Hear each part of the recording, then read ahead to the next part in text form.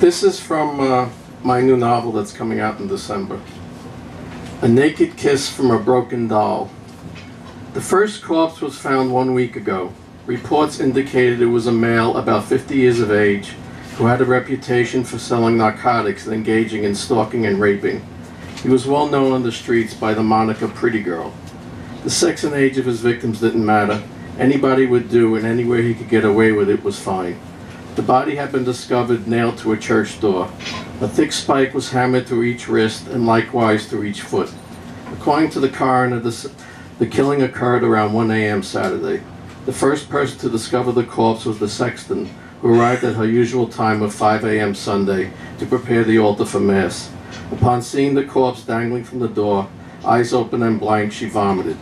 In addition to the previously mentioned wounds, it was apparent that the throat had been slashed from ear to ear, and the mouth had been given the Glasgow grin a la the Black Dahlia. A coagulated pool of gore was on the brick sidewalk underneath the corpse. The door was splattered with the dried red color. Deep red hallucinations, nightmare juice. Before calling the police, the sexton took a slug or two of sacred wine from the tabernacle to steel her nerves. She tasted vomit and alcohol in her mouth, which did nothing to mask the aroma of blood and excrement permeating from the corpse. It required all her strength to dial the three digits necessary to summon the cops. After making the call and stating her emergency, she slid down to the pavement, facing away from the body, and stared.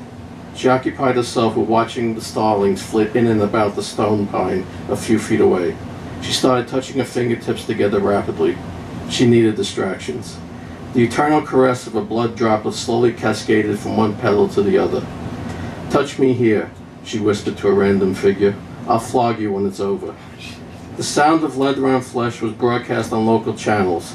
She loved these things. It was a time for control. When Griselda awoke at 3.35 a.m., she became aware of a remnant from the previous night's activities. She savored the delicate taste of blood in her mouth. This flavor lay on top of her tongue like a wilted iris, soft, cloying, and sinister. How this happened she couldn't recall, but her taste buds tingled. She really wasn't concerned.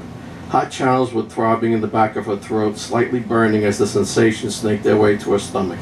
It always happened this way, so early in the morning in that dead time. Luminous fluid was refracting the light off her own skin. For a moment, the sound of blood rushing through her veins startled her. Then she grew accustomed to it. Multiple exposures made her unhappy. Her thoughts came quickly. Now she tasted iron in her mouth. That thing was happening again. Another life arrived as tortured bones and dust. She whipped every part of her mind until the sounds became sobs. Griselda smirked at the memory of him twitching in a red pool on the floor of his luxurious apartment and the satisfaction she felt when she pulled the blade out. Low moans of pleasure, the click of the switchblade closing and the way it felt, the heft of it in her black leather gloved hands made all the aggravation of stalking and executing him special, worthwhile. Repeated, repeated strokes of throbbing stiletto blades. Repeat as necessary until all used up. Prescription for lust. She thrived on these sounds. She lived for the found effects. As her eyes glowed in the purple evening through her veiled face, we could see a glistening tear.